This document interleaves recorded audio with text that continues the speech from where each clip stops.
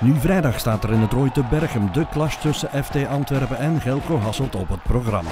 De twee clubs met de meest spraakmakende managers van het voedsel nemen het op tegen elkaar in de halve finale van de Beker van België. De winnaar is meteen geplaatst voor de finale. Reserveer snel je tickets voor de clash tussen FT Antwerpen en Gelco Hasselt, want de FTA Arena is nu al zo goed als uitverkocht. De halve finale in de Beker van België tussen FT Antwerpen en Gelco Hasselt, nu vrijdag in het Rooi te Bergen.